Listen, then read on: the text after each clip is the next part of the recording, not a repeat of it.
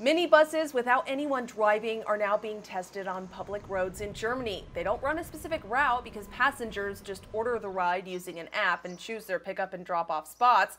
The three minibuses have been driving in normal city traffic since mid-April with a max speed of only about 12 miles per hour. And there is someone on board to take over driving if needed. But the goal is to eventually have these buses running 24-7 without a security driver.